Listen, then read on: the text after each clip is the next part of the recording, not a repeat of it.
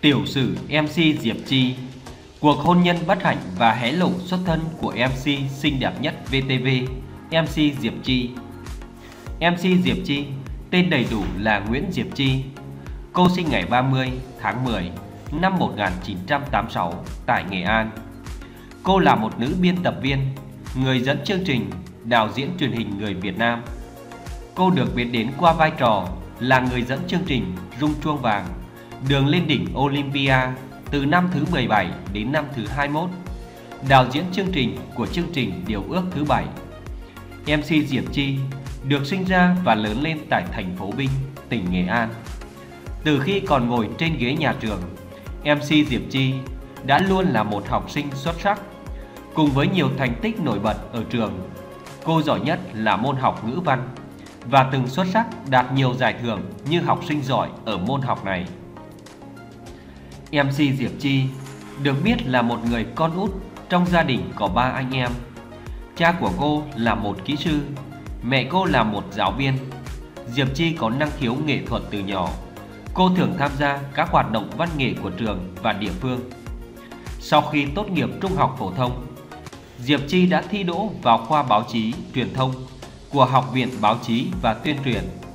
Trong thời gian học đại học, Diệp Chi đã tham gia nhiều hoạt động ngoài khóa. Cô từng là trưởng ban văn nghệ của trường và là thành viên của đội tuyển bóng chuyền nữ của trường.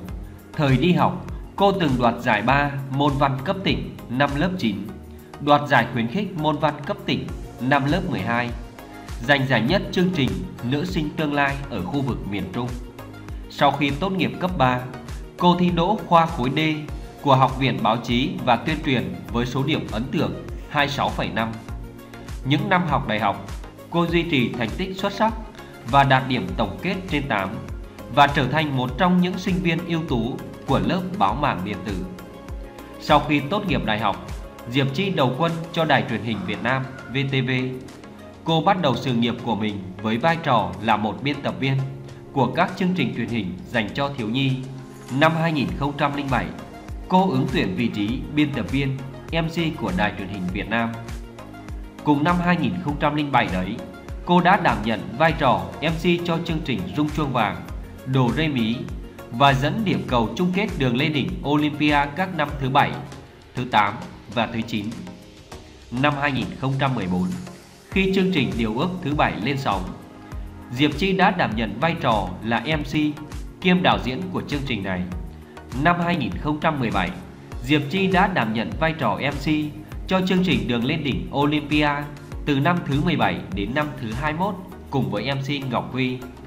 Năm 2021, cô ngừng dẫn chương trình Đường lên đỉnh Olympia để tập trung cho công việc là đạo diễn cho các chương trình như Ai là triệu phú, Cuộc hẹn cuối tuần. Nguyễn Diệp Chi là một trong những người dẫn chương trình, biên tập viên đạo diễn truyền hình tài năng của VTV. Cô đã có hơn 15 năm kinh nghiệm trong lĩnh vực truyền hình và đã gặt hái được nhiều thành công.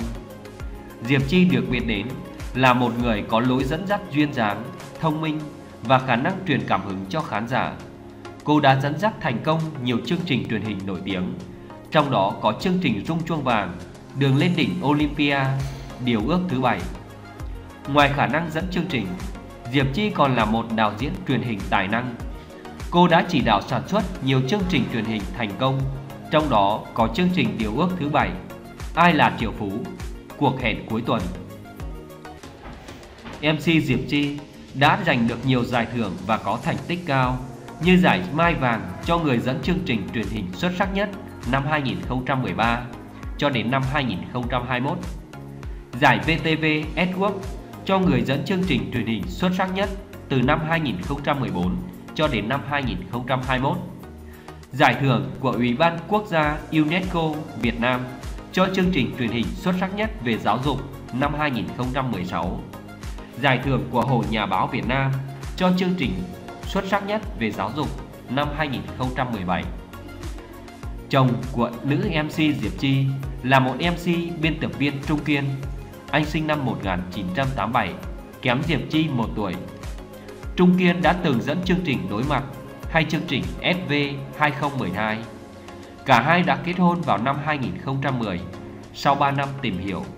Tuy nhiên, Quãng thời gian ở với nhau không lâu, Trung Kiên đã rời xa vị trí dẫn chương trình và tiếp đó anh thử sức với vai trò làm giám đốc truyền hình và anh đã mở công ty riêng. Cuộc hôn nhân của Diệp Chi và Trung Kiên được nhiều người ngưỡng mộ bởi sự hạnh phúc và viên mãn. Cả hai thường xuyên xuất hiện cùng nhau trong các sự kiện và chia sẻ những khoảnh khắc ngọt ngào của gia đình trên mạng xã hội.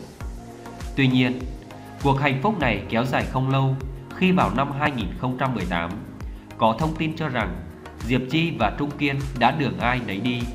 Thông tin này khiến nhiều người hâm mộ và cặp đôi không khỏi nuối tiếc. Có nhiều nguyên nhân dẫn đến việc ly hôn của Diệp Chi và Trung Kiên. Một số nguồn tin cho rằng cặp đôi đã gặp trục trặc trong hôn nhân do áp lực công việc và sự khác biệt về tính cách. Tuy nhiên, nguyên nhân chính xác của cuộc ly hôn này vẫn chưa được xác nhận. Sau khi ly hôn, Diệp Chi và Trung Kiên vẫn giữ mối quan hệ tốt đẹp vì con cái. Họ cùng chăm sóc người con gái duy nhất và thường xuyên đưa con gái đi du lịch.